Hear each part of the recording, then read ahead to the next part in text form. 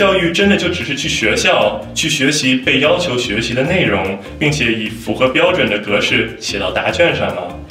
我希望的是，在座的各位可以用一个一点点不同的眼光来看待教育，将其视为一个过程，而不是一个结果。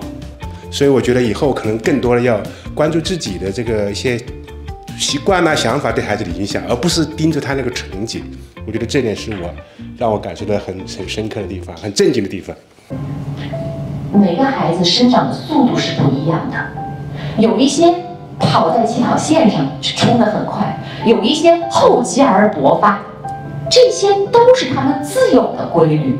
我们家长要做的是等待他们。守望他们，呵护着他们，期待着他们。如果上天给你的种子没有开花，请相信，它是一棵参天的大树。孩子的成长一定是全方面的发展啊，呃，他要有感知能力，他要能有团队精神，对吧？不是只能写。所以回到初心，发现孩子的闪光点。希望我们可以让生命点燃生命，让生命影响生命。我觉得今天大家都做到了嗯，因为你们懂得远远比我懂得多。